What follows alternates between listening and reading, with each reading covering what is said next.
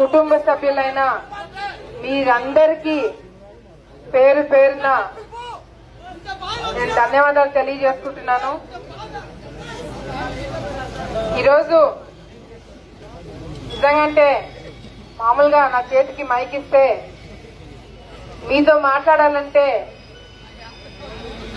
ఆలోచన రాదు కానీ ఈరోజు మాట్లాడాలంటే నిజంగంటే చాలా విషయాలు ఉన్నాయి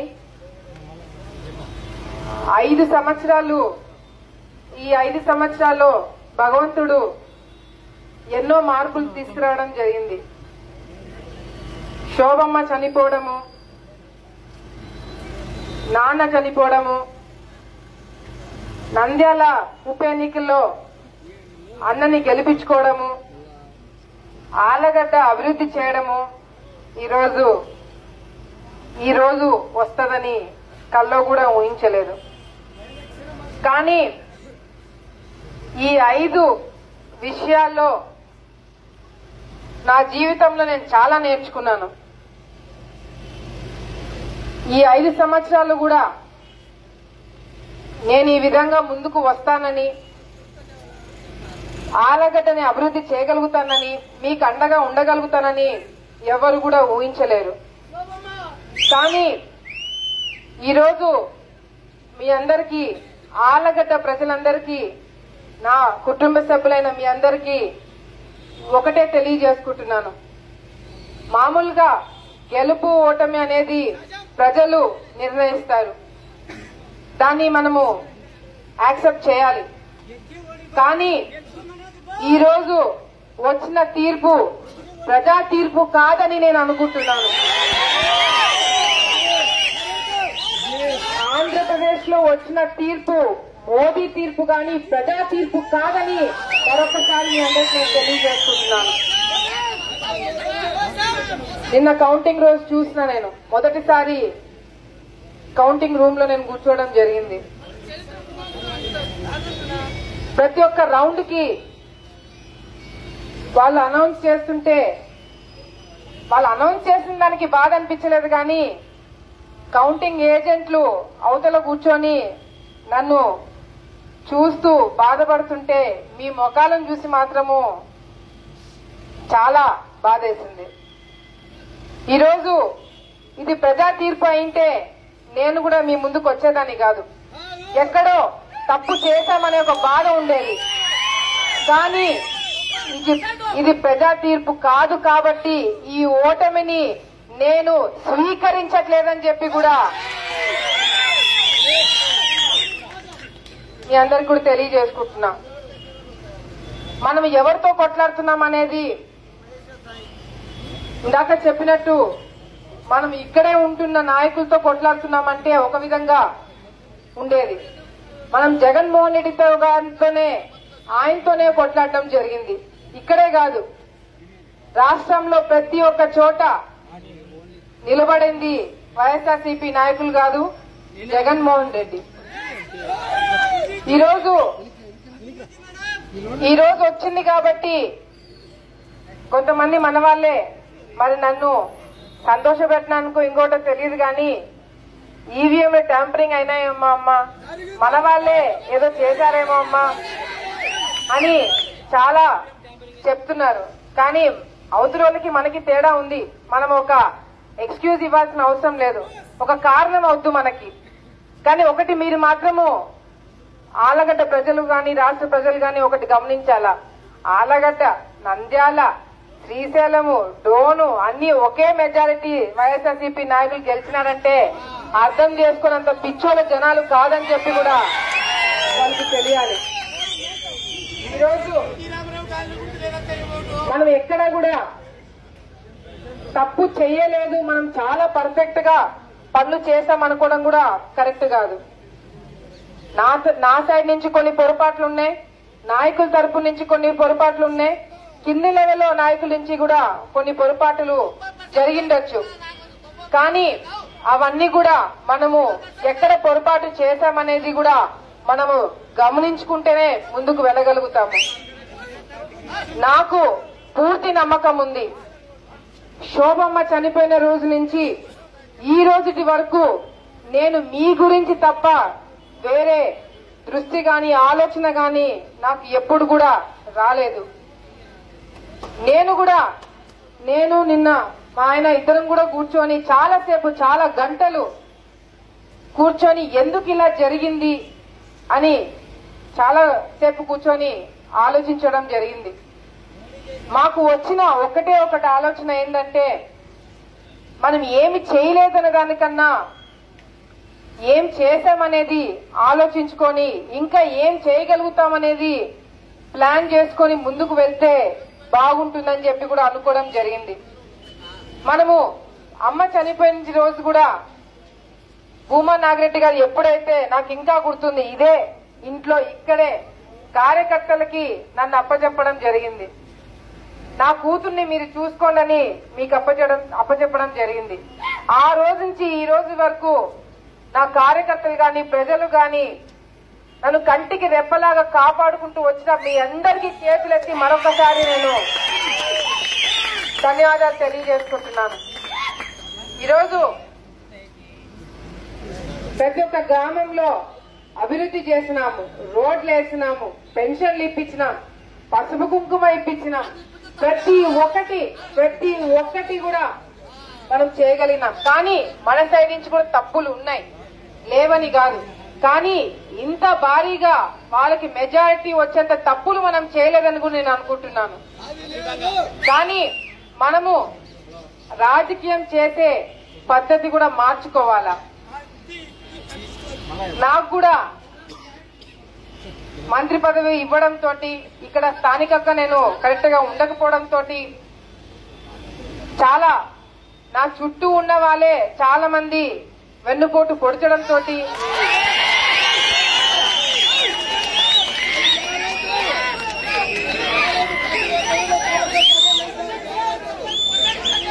నేను ఎలక్షన్ క్యాంపెయినింగ్లో కూడా చెప్పిన.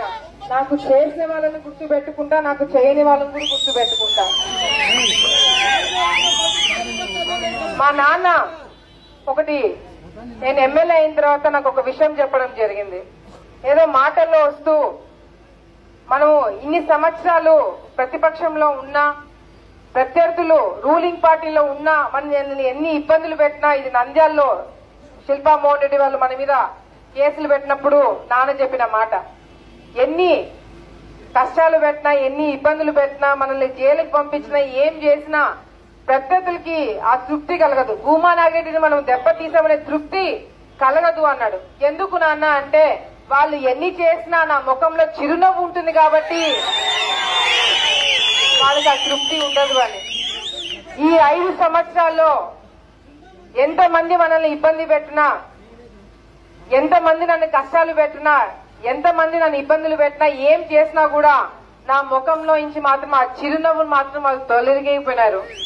ఈ రోజు చెప్తున్నాను ఈ ఐదు సంవత్సరాలు అంటున్నారు వాళ్ళు రూలింగ్లోకి వచ్చారు కాబట్టి మొదట మన ధర్మము వైఎస్ జగన్మోహన్ రెడ్డి గారికి అభినందనలు తెలియజేసుకున్నాము తప్పులేదు కానీ ఆలగడ్డ ఇంకా మనం ఓడిపోయినాం కాబట్టి మనం ఉండము ఇంకా చేయలేము ఏదో అనుకుంటున్నారేమో కానీ ఇప్పుడు కూడా అదే మాట చెప్తున్నా. నాకున్న తెలివితేటలు గాని నాకున్న బలం గాని ఈ రోజు మళ్ళీ చెప్తున్నాను ఆలగడ్డలోనే ఉంటాము ఆలగడ్డలోనే ఉండి పనులు చేస్తామని చెప్పి కూడా మీ అందరికి నేను మాటిస్తున్నాను ఓడిపోతే నేను ఏడుస్తానని చాలా మంది అనుకున్నారు. మా నాన్న చనిపోతేనే మొండిగా తయారైనా నేను. ఓడిపోతే ఏడ్చి ఇంట్లో కూర్చున్న టైప్ కాదు. మా నాన్న ఎప్పుడు నాకన్నా మొండిదానే అనేదాన్ని. అదేందో ఇప్పుడు చూపిస్తా నేను. ఆలగడ్డ ఆలగడ్డని వదిలిపెట్టి పోయే ప్రసక్తే లేదని చెప్పి కూడా మరొకసారి తెలియజేసుకుంటూ నేను మీకు ఉంటానని నేను మీకు మళ్ళీ నేను చెప్పాల్సిన అవసరం లేదు. నా చివరి నా చివరి రోజు వరకు నేను చచ్చేంత వరకు మీతోటే ఉంటానని నేను మీకు ప్రణాన ప్రమాణం చేస్తున్నాను.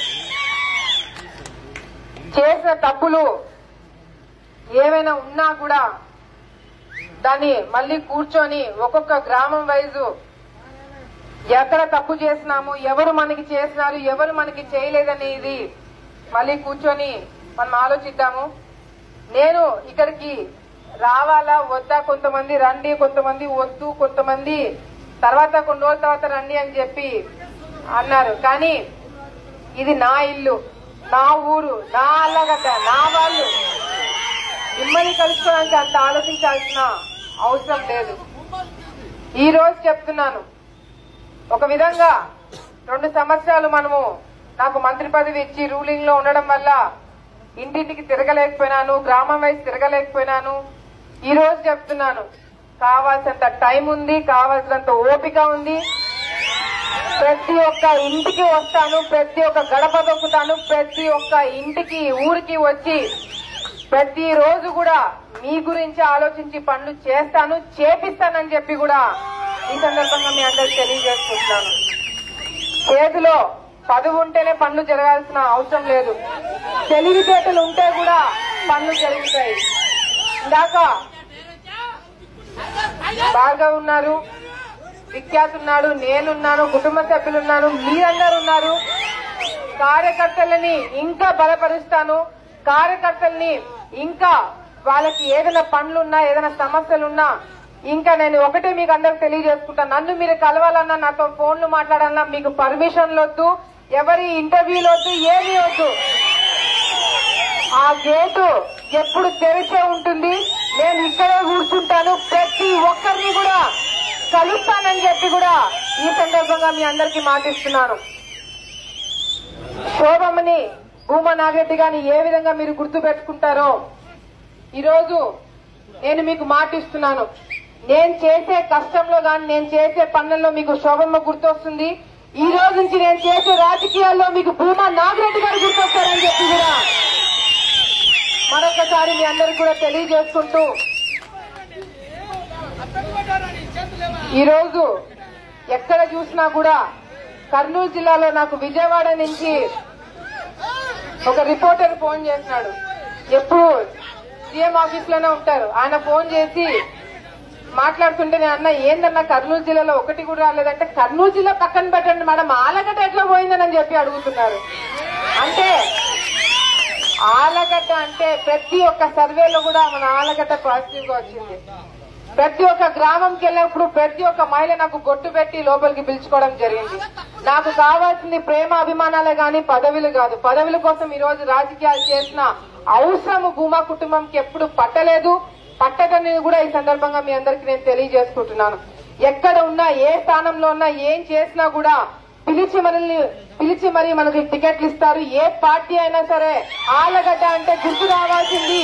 భూమ కుటుంబం మాత్రమే అని చెప్పి కూడా ఈ సందర్భంగా మీ అందరికి మరొకసారి తెలియజేసుకుంటూ చాలా మంది ఈ రోజు నేను ఇక్కడ మాట్లాడుతున్నాను అంటే కార్యకర్తలకి ధైర్యం చెప్పండి. కార్యకర్తలతో మీరు ఇంత ధైర్యంగా మాట్లాడితే వాళ్ళకు కూడా ధైర్యం వస్తుందని చెప్పి అన్నారు. మా వాళ్ళకి ధైర్యం నేను చెప్పాల్సిన అవసరం లేదు. వాళ్ళకు ఉండేదే ధైర్యం అని చెప్పి నేను చెప్పినాను. ఈ రోజు మీరు గాని నేను గాని ఈ రోజు ఈ ఇంటిలో ఉన్నాము అంటే దానికి కారణము మీలో ఎంత కసి ఉందో దానికి రెట్టింపు కసి నాకుంది. తప్పకుండా ఆలగడ్డ అంటే భూమా అట్టగా నేను మారుస్తాను మార్చి తీరుతానని చెప్పి కూడా ఈ సందర్భంగా తెలియజేసుకుంటూ ఈ రోజు ఇక్కడ మీటింగ్లు పెట్టానంటేనే చాలా మంది ఫోన్లు చేస్తున్నారు. పోలీసులు కూడా ఫోన్ చేస్తారు ఏంది మేడం మీటింగ్ అంటే ఏంది కథ ఏంది అని. అంటే ఇప్పుడు కూడా ఏం చేస్తారని భయపడుతున్నారు. ఈరోజు ఎన్ని కష్టాలు వచ్చినా ఎన్ని ఇబ్బందులు వచ్చినా మరొకసారి మీ అందరికి భరోసా ఇస్తున్నాను నమ్మకం ఇస్తున్నాను. చివరి వరకు ఆలగడ్డకి సేవ చేసుకునే భాగ్యము ఆ భగవంతుడు నాకు ఇచ్చినాడు.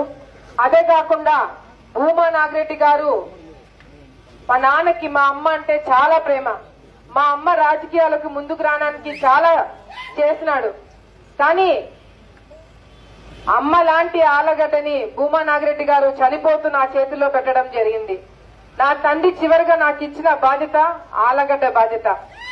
అంత ఈజీగా వేరే వాళ్ళ చేతిలో నేను పెట్టే ప్రసక్తే లేదని చెప్పి కూడా తెలియజేసుకుంటూ ఆలగడ్డ అంటే భూమా అడ్డ.